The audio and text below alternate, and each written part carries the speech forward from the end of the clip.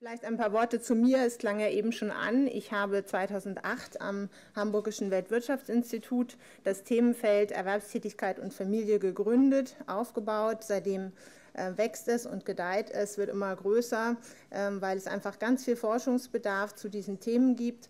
Meine Motivation war, dass ich damals in meiner Dissertation das Ziel hatte, Frauen aufzuzeigen, was es kostet, wenn sie für eine bestimmte Zeit aus dem Erwerbsleben aussteigen, was es kostet an Einkommensverlusten. Das war mein, ja, mein Sendungsbedürfnis sozusagen und äh, das hat sich eigentlich bis heute gehalten, weil ich der Überzeugung bin, dass Frauen wissen müssen, worum es geht. Sie müssen informierte Entscheidungen treffen.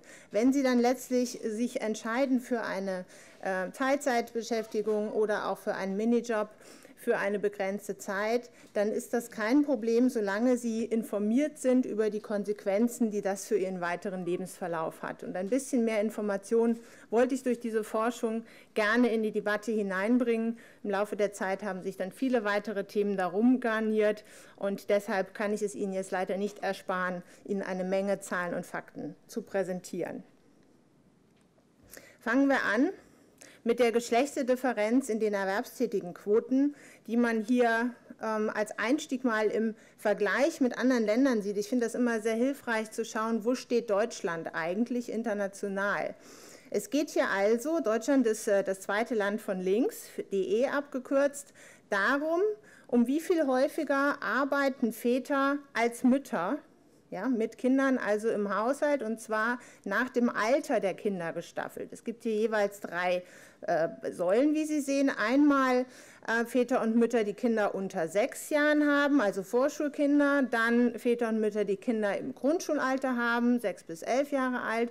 Und dann ganz rechts immer der Balken, das sind die Kinder, die schon im Teenageralter sind oder sogar schon erwachsen, also zwischen 12 und 24 Jahre alt. Was hier abgetragen ist, ist die Differenz in erwerbstätigen Quoten, also in Prozentpunkten. Wie muss man das lesen? Wenn man also bei Deutschland mal den dunkelblauen Balken sich nimmt, dann sieht man da was über 30 Prozentpunkte. Das heißt also, wenn Männer äh, etwa 90 äh, Prozent erwerbstätigen Quote haben, also 90 Prozent der Väter hier sind erwerbstätig, dann sind das für die Mütter nur 60 Prozent. Dazwischen sind diese 30 Prozentpunkte, die Sie hier sehen.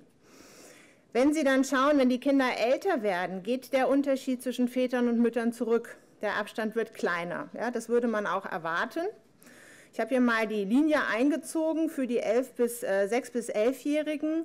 Da sehen Sie, liegt der Abstand in den erwerbstätigen Quoten in Deutschland immer noch bei über 15 Prozentpunkte. Und wenn Sie mal die anderen Länder sich anschauen, und dazu soll die Linie ein bisschen dienen, sich zu orientieren, dann sehen Sie, dass wir da ungefähr auf einem Niveau mit Polen liegen.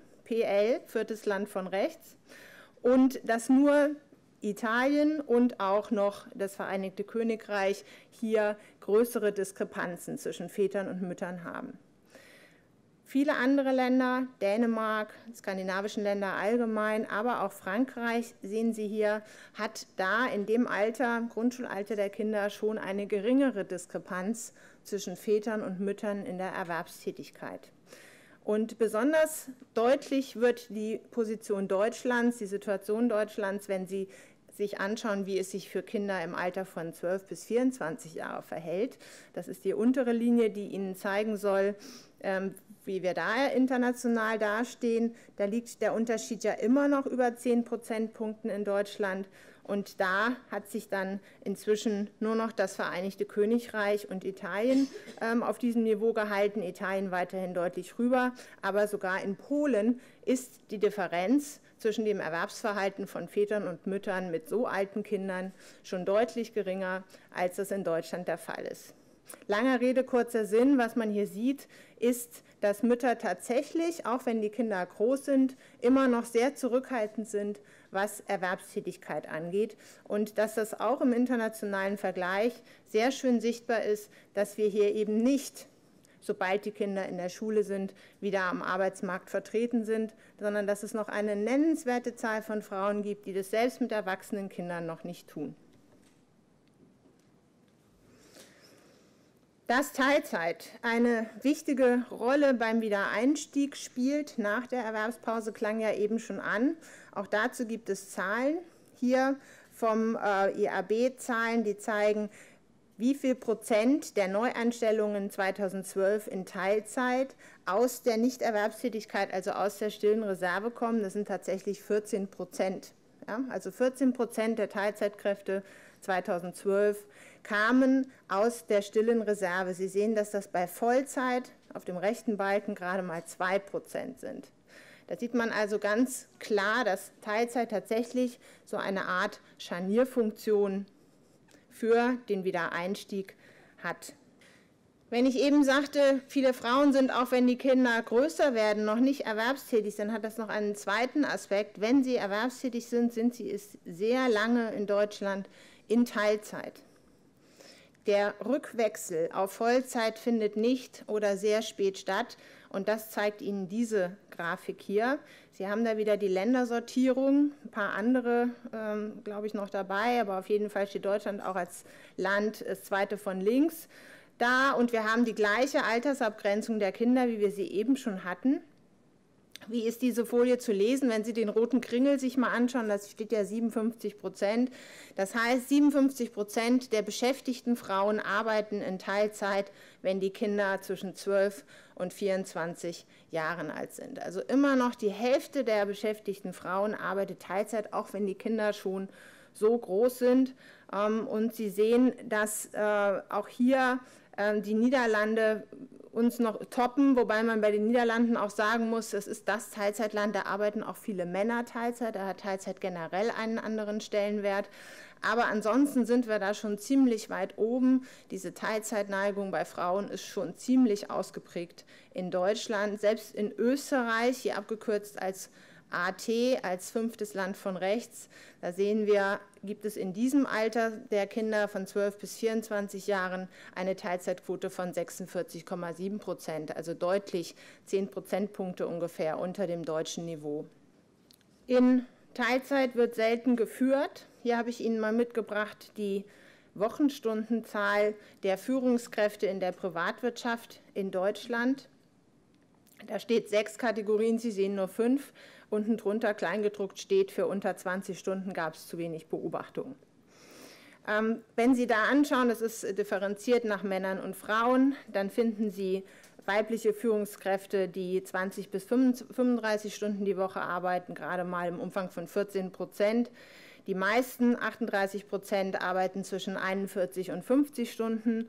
Äh, ein Viertel arbeitet tatsächlich auch zwischen 35 und 41 Stunden, aber Sie sehen, die geringeren Wochenarbeitszeiten spielen hier eine entsprechend geringe Rolle und Männer tauchen in dieser Kategorie 20 bis 35 Stunden gar nicht auf.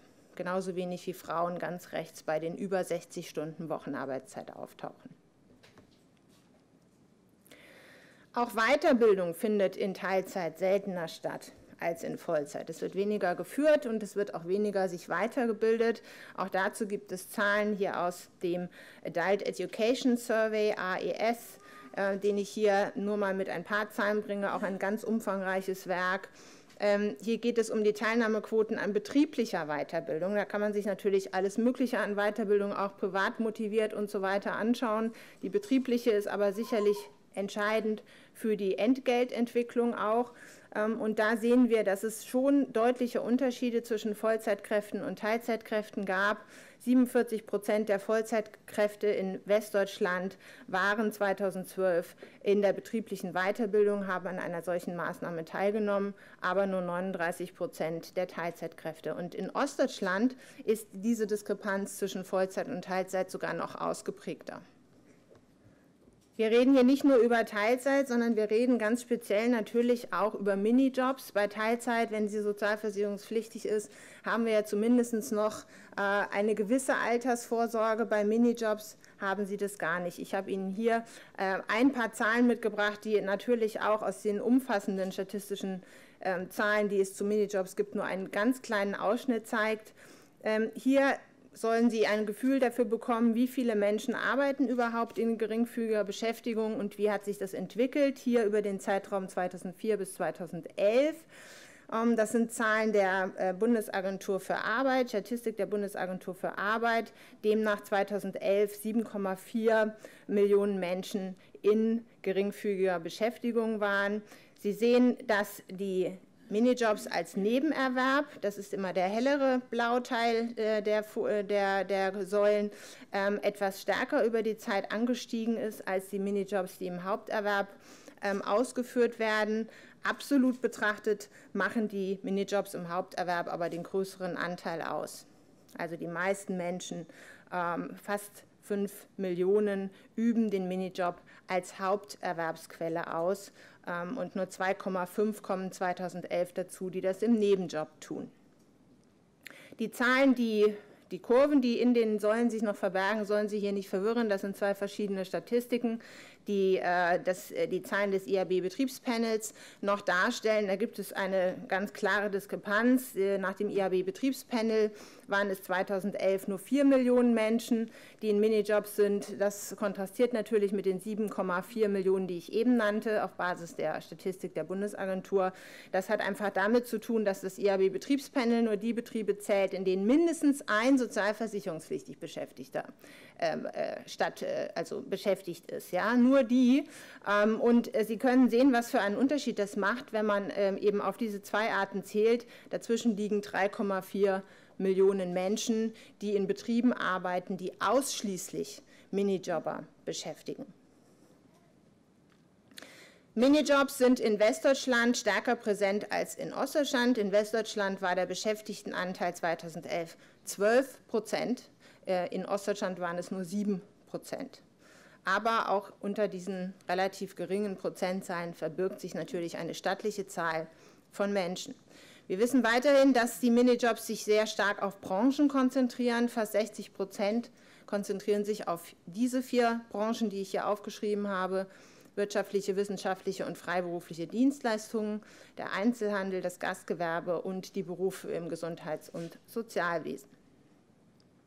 Was ist interessant an diesen Minijobs? Ja, das wissen wir alle. Ähm, Sozial- und äh, Steuer, Sozialabgaben und Steuerfreiheit. Das ist insbesondere attraktiv natürlich für Ehepartnerinnen, ähm, die also verheiratet sind und von einem günstigen oder der, der Partner von einem günstigen Tarif äh, nach dem äh, Ehegattensplitting, einem, einem günstigen Grenzsteuersatz profitiert, der verloren ginge, wenn die Ehefrau jetzt mehr als geringfügig hinzuverdienen würde. Das Ehegattensplitting ist ja so konzipiert, dass Paare am meisten gewinnen, wenn sie möglichst unterschiedlich verdienen und dazu, äh, wenn sie sich dabei mit ihren Verdiensten auf einem hohen Niveau bewegen. Wenn also die Partnerin, meistens ist es ja die Frau, die zuverdient, mehr als eine bestimmte Summe verdient, dann ähm, wird die Steuerersparnis durch das Ehegattensplitting entsprechend geringer. Und da Frauen immer noch häufig im Paarzusammenhang denken und das auch als Maßgabe und als Richtschnur für ihr Handeln äh, letztlich ansehen, was sie in Cash am Monatsende in der Haushaltskasse haben, ist es eben für viele einfach individuell betrachtet rational zu sagen, okay, dann mache ich eben den Minijob, der lässt unseren Grenzsteuersatz da, wo er ist. Wir profitieren vom Ehegattensplitting und ich verdiene ein bisschen dazu. Sie können es vielleicht schon raushören, dass es nicht meine Meinung ist, dass man so vorgehen sollte. Ähm, und ich habe mir, und da komme ich gleich zu, redlich Mühe gegeben zu zeigen, welche Gefahren das in Euro birgt wenn man so vorgeht. Wenn man also in der Haushaltskasse denkt und nicht für sich selber als Frau, wenn man kurzfristig rechnet und nicht langfristig über den gesamten Lebensverlauf inklusive des Alters ähm, und wenn man in Netto statt in Brutto rechnet. Auch das ist ein Fehler, der dritte Fehler, der gemacht wird, dass man nicht darauf achtet, was kann ich denn verdienen, was ist mein Potenzial am Arbeitsmarkt, was sind meine Einkommenserzielungsmöglichkeiten, ja, was könnte ich, wenn ich mich wirklich ganz reinwerfen würde, wenn ich wirklich mein Bestes gäbe, meine gesamte Zeit, die ich zur Verfügung habe, für meinen Job aufwenden würde, was könnte ich denn verdienen? Und da muss ich aufpassen, dass ich da nicht verliere über die Zeit und dass mir da Familienpausen nicht zu sehr zusetzen. Stattdessen wird der Fehler gemacht, es wird das Netto angeguckt zwischen Brutto und Netto ist bekanntermaßen der Steuerkeil und der Sozialversicherungskeil. Und wir haben diverse Anreize und Fehlanreize in unserem System, die uns dazu verleiten, auf das Netto zu gucken. Und wir fühlen uns dadurch kurzfristig reicher, insbesondere wir Frauen. Wir sind es aber nicht. Wir sind vielleicht kurzfristig reicher, wir sind aber langfristig ärmer, Ähm, und das genau ist der Punkt, von dem aus ich irgendwann mal gestartet war und wo ich auch gleich noch hinkomme. Diese Minijobs haben auch da ist sich die Wissenschaft nicht einig, aber es gibt ein paar ähm, Forschungsergebnisse, die darauf hindeuten, manchmal eine Brückenfunktion in reguläre Beschäftigung, die bezieht sich aber auf Minijobs, wo die Leute vorher aus der Arbeitslosigkeit kommen. Für Wiedereinsteigerinnen sind mir solche Ergebnisse bisher nicht bekannt. Langfristig kann man auf jeden Fall sagen, hat man ein Problem mit der Absicherung. Wegen der Sozialabgabenfreiheit sammelt man natürlich auch keine Rentenpunkte an, man betreibt keine Altersvorsorge. In der Regel wird es auch aus dem Cash nicht erwirtschaftet, den Frauen hinzuverdienen. Der geht meistens für die Kinderbetreuung drauf. So, was ist das Ergebnis? Wir haben auch hierzu umfangreiche Zahlen in Deutschland inzwischen vorhanden oder verfügbar. Es ist die Rentenlücke. Wir reden ja nicht nur über die Entgeltlücke zum Zeitpunkt äh, oder in der Phase der Erwerbstätigkeit, sondern das Ergebnis dieser Entgeltlücke zwischen Frauen und Männern ist nachher, und Sie sehen noch potenziert, die Rentenlücke zwischen Frauen und Männern. Und äh, wenn Sie sich hier anschauen, hier ist West- und Ostdeutschland getrennt und außerdem sind, ähm, sind äh, Männer und Frauen mit und ohne Kindern, äh, Kinder verglichen. Sie sehen, dass die Rentenlücke in Westdeutschland fast 70 Prozent erreicht, ähm, wenn Paare Kinder haben. 70 Prozent. In Ostdeutschland sind es nur 40 Prozent. Da erreichen die äh, Frauen also 60 Prozent der durchschnittlichen Männerrente. Im Westen erreichen sie nur 30 Prozent der durchschnittlichen Männerrente, wenn Kinder vorhanden sind.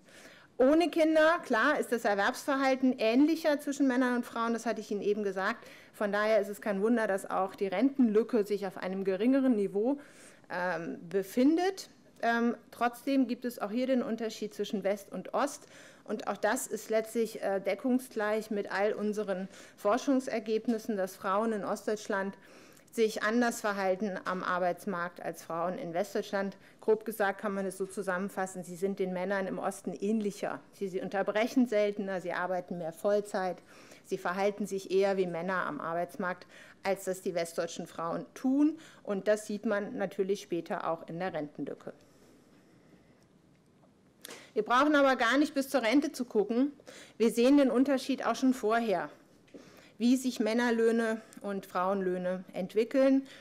Das äh, ist eine Grafik, die das Statistische Bundesamt im Zusammenhang mit, der letzten, mit den letzten Zahlen zur geschlechtsspezifischen Lohnlücke veröffentlicht hat. Wie ich finde, zeigt sie sehr anschaulich, wie Frauen stagnieren in der Lohnentwicklung in dem Moment, wo das erste Kind geboren wird. Hier ist diese orangefarbene senkrechte Linie eingezeichnet bei 29 Jahren.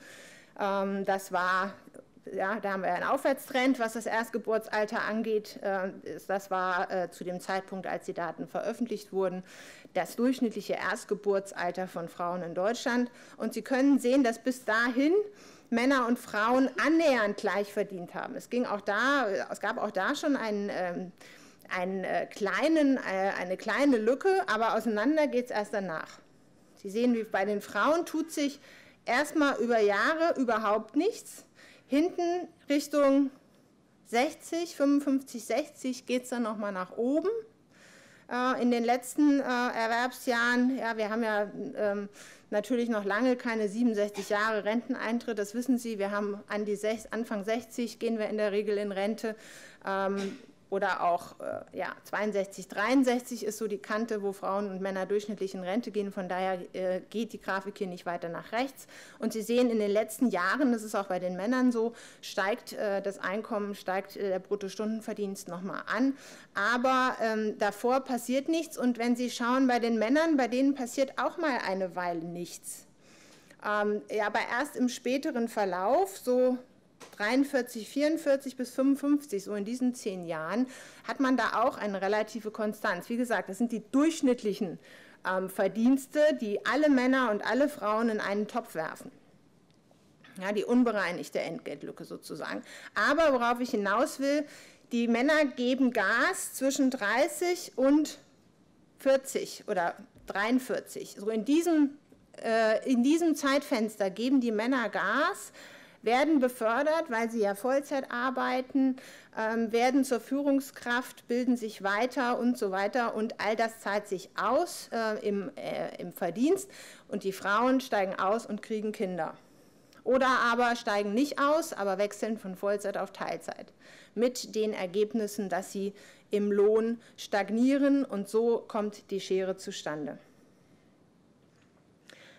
Meine Frage war damals, äh, die ich mir gestellt habe, muss man denn Frauen mit Männern vergleichen? Wenn man jetzt diesen äh, Unterschied in der Lohnlücke berechnen will, reicht es nicht erstmal Frauen mit Frauen zu vergleichen, die sich unterschiedlich verhalten und mal auszurechnen, was sind denn da schon die Unterschiede? Was ist der Faktor Biografie wert? Ja, der Faktor Biografie, wenn man Frauen mit Frauen vergleicht, der letzte, die letzte Komponente, die wir immer so schnell bei der Hand als Diskriminierung bezeichnen zwischen Frauen und Männern, die kommt dann noch zusätzlich dazu. Aber um ein scharfes Schwert zu haben, mit dem wir kämpfen können, habe ich mir gedacht, muss ich erst mal wissen, was unterscheidet denn Frauen voneinander? Ja, wie viel hiervon liegt einfach an der Biografie, an der unterschiedlichen Biografie? Und das sind dann auch die Anknüpfungspunkte für Politik, an denen Politik ansetzen kann und sagen kann, ja, da müssen wir eben daran genau was ändern. Wir können aus Männern keine Frauen machen, wollen wir auch nicht. Wir wollen auch aus Frauen keine Männer machen, sondern wir wollen berechnen, wie diese unterschiedliche Entwicklung, diese unterschiedlichen Löhne zustande kommen. Ich habe dann tatsächlich auf Basis des sozioökonomischen Panels Daten gesammelt und habe mir Frauen unterschiedlicher Bildungsgruppen angeschaut, und habe unterschiedliche Einflussfaktoren auf deren Verdienste, die ich beobachten konnte in dieser Stichprobe, berechnet. Mittels Regressionsanalysen kann man das sehr schön machen, indem man dann herausfindet, wenn ansonsten alles gleich ist, was macht ein zusätzliches Jahr Vollzeit, was macht ein zusätzliches Jahr Teilzeit mit ihrem Lohn. Ja, und habe dann auf Basis dieser Ergebnisse, dieser ganzen einzelnen Einflussfaktoren auf den Lohn simuliert. Das heißt, ich habe mir überlegt, wenn ich jetzt verschiedene hypothetische Erwerbsverläufe mir bastel, ich nehme mal an, die steigt mit 28 aus oder die steigt mit 30 aus und dann unterscheide ich mal, sie bleibt drei Jahre draußen oder sechs Jahre draußen, unterschiedliche Verläufe. Ja? Sie arbeitet danach vielleicht ein bisschen Teilzeit oder sie lässt das, geht wieder in Vollzeit zurück. So habe ich ganz viele unterschiedliche Erwerbsverläufe gebildet und habe dann simuliert auf Basis der Daten, die ich vorher gewonnen hatte, wie sich dann ihr Lohn über die Zeit entwickelt. Und das ist das, was Sie hier sehen. Die obere Linie sagt Ihnen an, wie sich der Lohn entwickelt einer Frau, die im Alter von äh, 28 Jahren eben nicht aussteigt, sondern die kontinuierlich weiter Vollzeit arbeitet. Das ist eine Akademikerin hier in dem Fall. Und kriegen Sie keinen Schreck äh, bei den äh, Lohnverlusten oder dem Bruttojahreslohn hier in Euro. Das sind Zahlen bezogen auf den Zeitraum 2000 und 2005. Inzwischen liegen wir dann natürlich etwas höher. Aber darum ging es nicht. Es ging um die Struktur um die Verhältnisse zueinander. Ja? Also die obere Linie gibt an, die Akademikerin, die die ganze Zeit Vollzeit arbeitet, Sie sehen, die steigt kontinuierlich im Lohn an bis 45. Weiter konnte ich nicht rechnen, das hatte datentechnische Gründe. So, und die untere Linie zeigt Ihnen an, was passiert, wenn Sie mit gleicher Bildung, also als Akademikerin, mit 28 Jahren ein Kind bekommt. Nehmen wir ja an, sie ist auch mit 27 eingestiegen, Ende 28 steigt sie aus. Sie hat also zwei Jahre gearbeitet wie die andere Frau, gleiche Lohnentwicklung, aber dann geht es auseinander. Dann steigt sie erstmal aus, hat drei Jahre Auszeit, nachgefolgt von einer dreijährigen Teilzeitphase in 20 Stunden die Woche. So.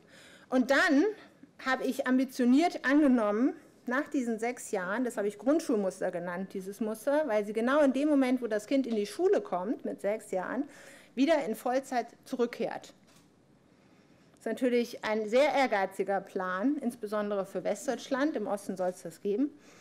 Ähm, so, wenn sie dann wieder zurückgeht in Vollzeit, tatsächlich nach diesen sechs Jahren, ja, dann sind Sie auf der unteren Kurve. Da ist sie also wieder in Vollzeit zurückgekehrt. Und was das Überraschende ist, und ich zeige Ihnen gleich noch die, die, die Zahlen dazu, wie hoch Ihre Verluste selbst dann in der Phase bis 45 noch sind, wenn sie also schon wieder Vollzeit arbeitet.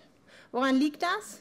Ich sagte ja, ich habe Frauen mit Frauen verglichen. Ich habe also angeschaut, wie viel Lücke sie immer noch zu der Vollzeitbeschäftigten, durchgängig beschäftigten Frau hat, diese Akademikerin, die wegen ihres Kindes eine Zeit lang ausgestiegen ist. Und habe diese Kosten die Folgekosten genannt.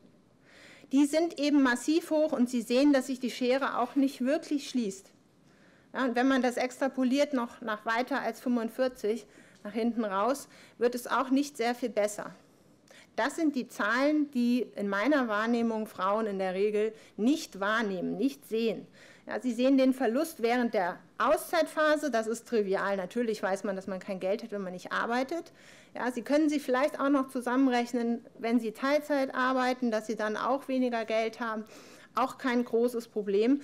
Ja, aber das war es dann, denken die meisten. Dann mache ich da weiter, wo ich aufgehört habe. Dann gehe ich zurück und das hier ist noch die Annahme, dass sie auf denselben Job zurückkehrt, also auch von daher nochmal unterstes Niveau der Verluste, die ich hier berechnet habe. Ja? Sehr optimistische Annahme, sie geht auf den gleichen Job zurück.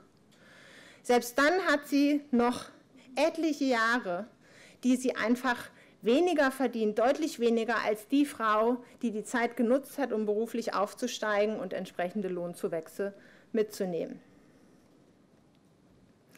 Und vorab möchte ich gleich sagen, wenn Sie hier die Beträge in Euro sehen, das sind Wertschöpfungsverluste für die Unternehmen in gleicher Höhe.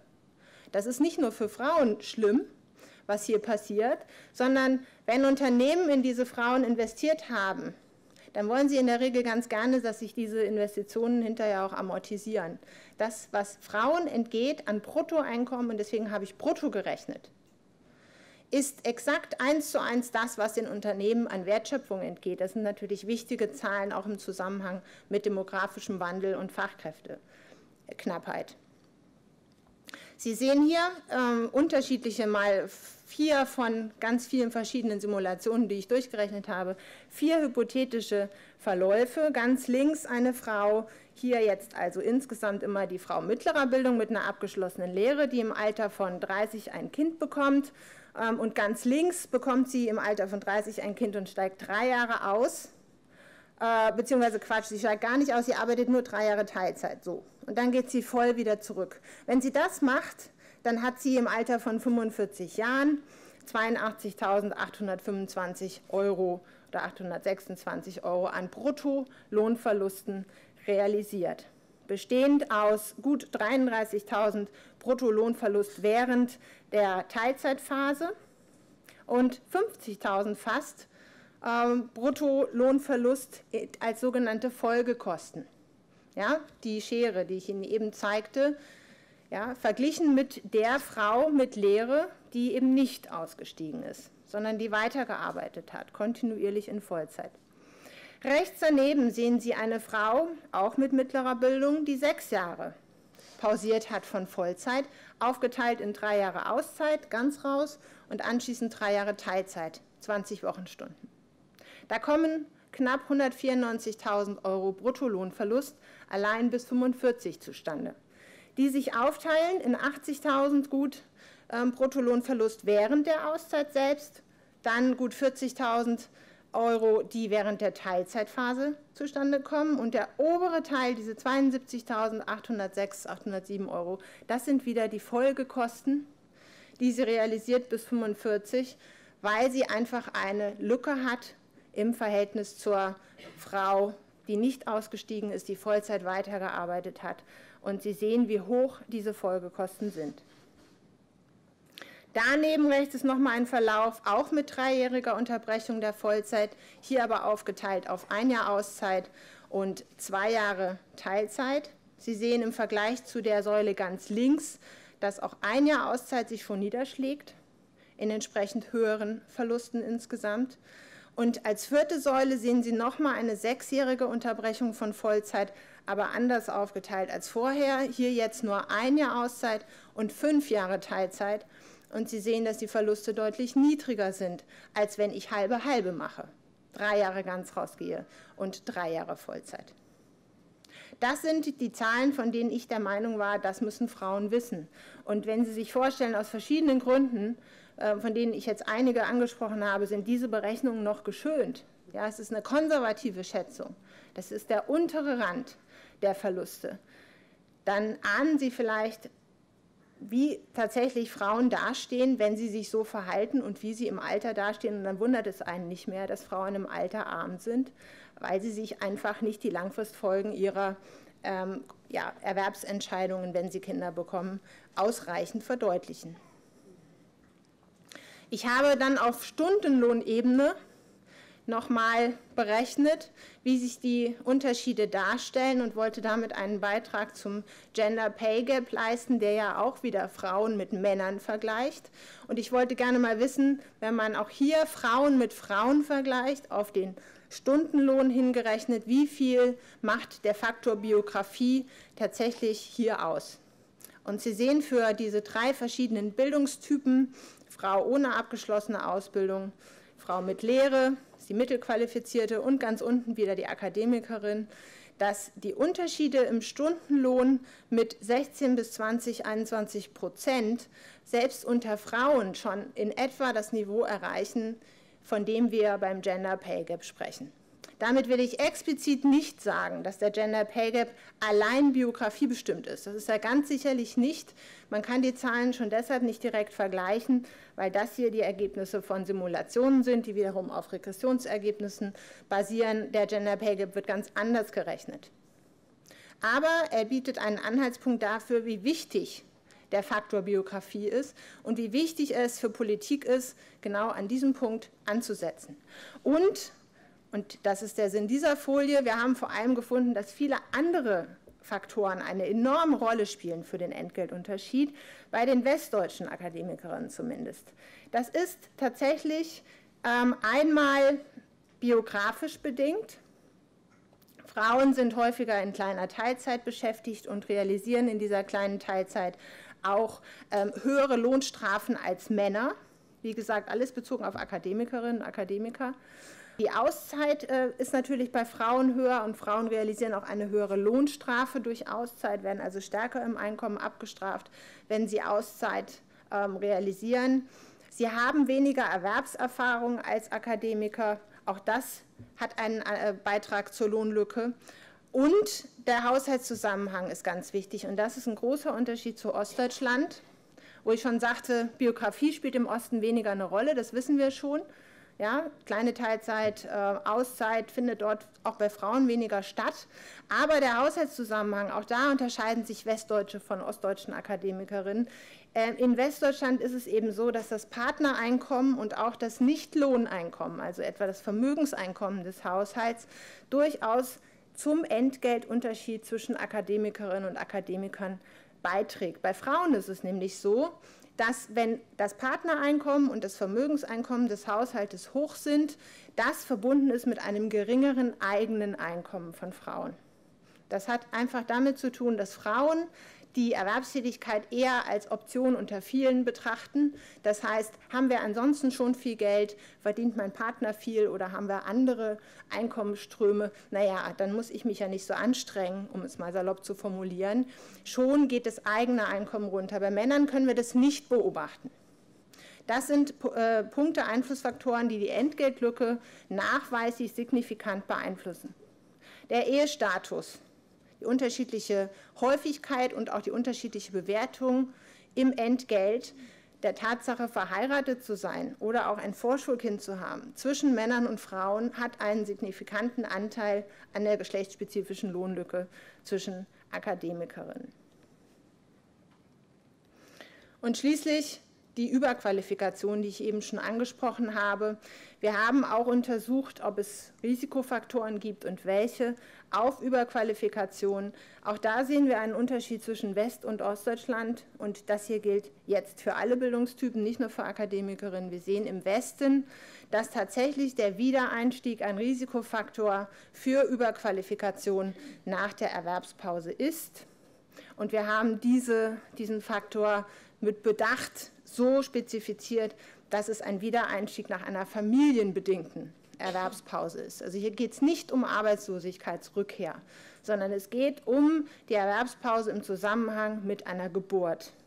Und da ist der Wiedereinstieg signifikanterweise ein Faktor, der das Risiko, überqualifiziert zu sein, erhöht. Dasselbe gilt für niedrige Teilzeit Bei uns sind das 16 bis 25 Stunden die Woche und dasselbe gilt auch für Beschäftigungsverhältnisse bis zu 15 Stunden, die wir hier als geringfügige Beschäftigung bezeichnet haben. Hohe Teilzeit von 26 bis 34 Wochenstunden ist weder für West- noch für ostdeutsche Frauen ein Risiko. Und diese Faktoren, die Sie oben aufgelistet sehen, sind auch nur, wie gesagt, für westdeutsche Frauen. Ein wichtiger Punkt im Zusammenhang mit Einkommen, mit Erwerbsverhalten von Frauen ist der, die Rolle des Partners. Wir haben einmal für acht Länder über 30 Jahre uns das Zeitverwendungsverhalten von Müttern und Vätern für ihre Kinder angeschaut und haben gesehen, dass äh, und für Hausarbeit und haben gesehen, dass die äh, Zeit, die Väter mit ihren Kindern verbringen, über die letzten 30 Jahre sehr schön gestiegen ist. Für die Hausarbeit kann man das nicht unbedingt so sagen. Und wir haben uns hier mal im Querschnitt zur Jahrtausendwende ein paar Länder rausgenommen und geguckt, wie groß ist der Gender Gap in der Hausarbeitszeit pro Tag. Das heißt, wie viel mehr Minuten pro Tag verbringen Frauen mit Hausarbeit als Männer. Da sehen Sie Deutschland ganz rechts und der rote Kringel sagt Ihnen 65 Minuten verbringen Frauen im Durchschnitt mehr als Männer pro Tag mit Hausarbeit. Im internationalen Vergleich sind wir damit gar nicht mal so schlecht. Ja, Schweden ist besser, da ist der Unterschied geringer. Italien, meistens äh, ist es Italien, das uns noch toppt äh, in solcherlei Vergleichen. Aber auch die skandinavischen Länder schlagen gar nicht so prominent positiv zu, Bute, wie, zu äh, Buche, wie man das eigentlich so erwarten würde. Und ganz wichtig hierbei noch, es geht hier um Vollzeiterwerbstätige Mütter. Es geht nicht darum, dass äh, Mütter mehr Zeit für Hausarbeit haben, weil sie nur Teilzeit beschäftigt oder gar nicht beschäftigt sind oder geringfügig beschäftigt, sondern es geht um den Vergleich von Vollzeit erwerbstätigen Müttern und Vätern. Die Quelle dieser Daten ist die Zeitbudgeterhebung, von der wir ja dann demnächst oder in ja, 2015, glaube ich, erst die nächste Welle bekommen, auf die wir schon sehr warten und über die wir sehr froh sind, wenn wir sie haben, weil diese Zahlen, diese Statistiken ganz wichtig sind, um die Zeitverwendung zu beobachten und damit auch natürlich so ein bisschen abzulesen, wie die Rollenbilder von Männern und Frauen in Deutschland sind. Denn das hier hat natürlich ganz viel auch mit Rollenbildern zu tun, ich weiß nicht, ob Ihnen das Stichwort Doing Gender was sagt. Es gibt Studien, die zeigen, dass Frauen, gerade wenn sie Vollzeit berufstätig sind, äh, den Image-Schaden, den sie ihrem Partner dadurch zufügen, dass sie genauso erfolgreich sind wie er und vielleicht sogar noch mehr verdienen, dadurch zu kompensieren versuchen, dass sie im Haushalt entsprechend aktiver sind. Ja, dazu gibt es eine Menge Studien ähm, und ähm, es ist schon markant, wie groß diese Hausarbeitslücke pro Tag ist und da wird dann auch verständlich, warum Frauen sich selten in Führungspositionen trauen, weil sie eben einfach immer noch mehrfach belastet sind und äh, zu Hause auch nicht ähm, entsprechend entlastet werden, wenn sie beruflich stärker einsteigen.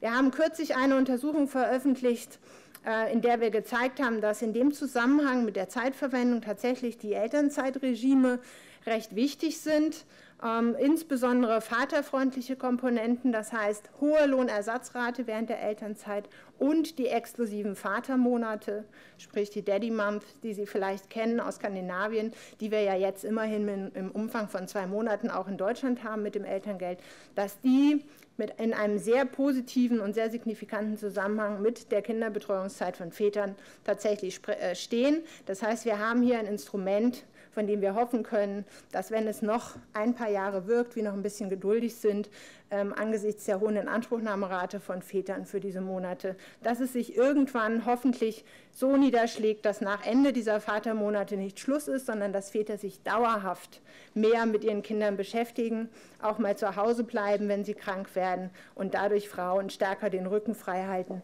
für eine umfangreichere Erwerbstätigkeit. Letzte Woche um diese Zeit, Montag, haben wir in der Friedrich-Ebert-Stiftung eine Studie vorgestellt, ich zusammen mit Miriam Beblo von der Universität Hamburg, in der wir nochmal klargemacht haben, empirische Evidenz zusammengetragen haben zum Thema partnerschaftliche Aushandlungsprozesse. Wie wichtig es ist, wie Frauen im Haushalt, im Paarkontext dastehen für ihre Rolle am Arbeitsmarkt und umgekehrt. Und dieses und umgekehrt, darum ging es uns vor allem, das tatsächlich, wenn Paare versuchen, sich zu einigen über Fragen der Arbeitsteilung, der Einkommensverwendung, der Familienplanung, durchaus auch darum geht, wer hat denn die höhere Durchsetzungskraft. Und diese Durchsetzungskraft wird unter anderem auch nennenswert gespeist durch die Verdienstmöglichkeiten, durch die sogenannten außerpartnerschaftlichen Handlungsoptionen, wie wir das ganz nüchtern nennen, was aber unterm Strich nichts anderes heißt als ja, ähm, ich habe eine hohe Durchsetzungskraft, ich habe eine hohe Verhandlungsposition, wenn ich auch außerhalb dieser Partnerschaft wirtschaftlich nicht so schlecht dastehe. Man kann in vielen Studien zeigen, die wir nicht erfunden haben, wir haben sie nur zusammengetragen, dass tatsächlich die geringe Arbeitsmarkteinbindung von Frauen ähm, im Zusammenhang mit ihren Verdienstmöglichkeiten und auch ihrer Beschäftigungsfähigkeit, dass diese Faktoren die Durchsetzungskraft von Frauen innerhalb der Partnerschaft schwächen können. Ich komme damit zum Fazit. Ich glaube, ich habe meine Redezeit auch schon äh, etwas überschritten inzwischen. Ich habe mir zwar Mühe gegeben, aber Sie können gerne auch gleich noch Fragen stellen. Deswegen äh, nur noch einmal ganz kurz äh, ein Fazit. Teilzeit hat äh, eine wichtige Scharnierfunktion für die Vereinbarkeit von Beruf und Familie. Wir müssen aber darauf achten, dass es keine Sackgasse ist. Und das gilt natürlich insbesondere für die geringfügige Teilzeit, ähm, dass die nicht zu verdammen ist, dass wir sagen müssen, Frauen, ihr seid erwachsen, ihr könnt selbst entscheiden, ihr sollt wissen, was euch das langfristig kostet, ja, wir wollen uns nicht hinstellen und sagen, das ist ein schlechtes Instrument, das wir per se verdammen, sondern wir wollen auf die Gefahren hinweisen und wir wollen, dass Frauen erkennen, dass das übergangsweise möglicherweise okay ist, dass es aber keine Langfristperspektive hat, sondern dass es langfristig einfach schlecht für sie ist, gefährlich für sie ist, sich auf solche geringfügigen Tätigkeiten zu konzentrieren und in diesen zu verharren. Was können Unternehmen tun? Das Thema wurde vorhin auch schon angesprochen. Lage und Flexibilität der Arbeitszeiten ist natürlich ein ganz wichtiges Stichwort, auch, und darauf weise ich auch immer hin, die der flexiblen Arbeitsorte. Es ist gerade für Mütter mit Kindern ganz wichtig, auch von zu Hause arbeiten zu können. Ich werde nicht müde, das immer wieder zu erwähnen. Es konzentriert sich leider oft die Debatte um die, auf die Zeiten, auf die Arbeitszeiten, sicherlich wichtig, aber in Kombination mit Telearbeit hat das nochmal einen ganz anderen Stellenwert von Vereinbarkeit. Wichtig für Unternehmen ist sicherlich, dass sie äh, mit dem Kind planen, dass sie Personalentwicklung mit der betreffenden Frau machen, die tatsächlich das Leben, den Lebensverlauf weiterdenkt und dieser Frau Möglichkeiten aufzeigt und zunehmend auch Männern, Vätern, wie sie mit Kindern im Unternehmen wachsen können, wie sie mit Kindern in Führungspositionen hineinkommen können. Auch da eine Langfriststrategie, ein Plädoyer für eine Langfriststrategie und nicht für die nur kurzfristige Brille. Effizienzlöhne sind äh, ein Stichpunkt, ein Stichwort hier. Das passt, äh, was normalerweise auch im Zusammenhang mit Männern diskutiert wird. Das heißt ganz einfach, ich zahle die Produktivität, die ich eigentlich haben will. Und wir gehen davon aus, dass wir äh, Männer motivieren können, mit mehr Gehalt sich dann so anzustrengen, dass sie das Geld dann tatsächlich auch wieder rein verdienen. Ja, also wir geben ihnen sozusagen Vorschusslorbeeren, wir zahlen ihnen hohe Löhne um sie so produktiv zu machen, dass sie es anschließend auch verdienen, dieses Geld. Für Frauen äh, hat sich das bisher noch nicht so, äh, ist das nicht so das äh, Instrument, mit dem man ähm, qualifizierte Fachkräfte gewinnt. Das muss sich aus meiner Sicht ändern. Wir müssen im Zusammenhang mit Fachkräftemangel, der sich auch noch auf Branchen konzentriert, die Zukunftsfelder sind, wie äh, Gesundheits- und ähm, Sozialberufe. Wir müssen mehr dahin kommen, dass wir diese Denke haben, wie können wir denn die gut qualifizierten Frauen gewinnen. Wie können wir sie an unser Unternehmen binden und wie können wir sie anschließend behalten? Das sind äh, in dem Zusammenhang sind Effizienzlöhne ein wichtiges Instrument. Der Staat, ja, was kann der tun? Da ist sicherlich jetzt einiges angeklungen. Wir brauchen insgesamt die Zugangschancen von Frauen wie von Männern zu diesen lohnrelevanten Merkmalen. Wenn wir also wissen, es geht um Führung, es geht um Weiterbildung, dann muss das Frauen genauso ermöglicht werden wie Männern und zwar unabhängig vom Familienzusammenhang. Wir haben auch eine Studie zu Eldercare gemacht kürzlich, in der wir sehr schön zeigen, dass Frauen, wenn sie denn dann äh, einen Pflegefall haben, sich wiederum zuerst zurückziehen. Männer tun das nicht äh, in dem Maße und dass sie sich insbesondere dann zurückziehen, wenn sie vorher schon ein Kind äh, großgezogen haben, weil dann sind ihre Verdienstmöglichkeiten ja sowieso schon beschränkt. Das ist also ein Teufelskreis, der sich da ergibt. Das heißt, es ist wichtig, dass wir über den Lebenslauf hinweg gedacht äh, dahin kommen zu sagen, Einkommensverdienstmöglichkeiten müssen für beide Geschlechter gleichermaßen vorhanden sein, ganz egal welches Event, welches Lebensereignis sich ansonsten gerade so abspielt. Ähm, und dann sicherlich ist ein wichtiger Punkt, äh, auch hier wieder Ehegattensplitting beispielsweise zu nennen. Es gibt eben auch eine Menge Fehlanreize zur Erwerbsintegration, die Frauen in der Rolle der Zuverdienerin auch bestärken und es individuell unattraktiv erscheinen lassen, mehr zu verdienen. Ich hoffe, ich habe klargemacht, dass ich der Meinung bin, dass Frauen sich darüber hinwegsetzen müssen, weil es ihnen einfach kurzfristig möglicherweise hilft, aber sie langfristig einfach ihnen langfristig einen großen Schaden zufügt. Der Partner hat einen ganz wichtigen, äh, eine ganz wichtige Verantwortung, da ist das Stichwort familienaktive Väter. Aber, und ganz zum Schluss möchte ich auch darauf noch mal hinweisen, wir dürfen nicht nur die Hand aufhalten in Richtung Politik und in Richtung Unternehmen und in Richtung Partner und sagen, gebt uns, äh, ihr macht falsch, dieses, dieses, dieses, ihr müsst ändern, dieses, dieses, dieses, sondern es ist ganz wichtig, dass Frauen sich auch selber hinstellen mit Zivilcourage und für ihre Interessen eintreten. Äh, und das doppelt im Prinzip im Unternehmen und zu Hause. Äh, und das ist auch keine Sache, die einmal erledigt ist, sondern das ist letztlich ein eine sich täglich wiederholende Übung, ja, dass Frauen äh, darauf Wert legen müssen und darauf insistieren müssen, dass sie diese Möglichkeiten der Arbeitsmarktintegration bekommen und dass sie die Verdienstmöglichkeiten bekommen und das verdienen, was sie tatsächlich auch wert sind. Das nimmt uns niemand ab. Von daher zum Schluss nochmal das Plädoyer, dass Frauen auch zuallererst auf sich selbst gucken müssen und sich fragen müssen, ob sie sich tatsächlich für ihre eigenen Interessen auch genügend einsetzen. Vielen Dank für Ihre Aufmerksamkeit.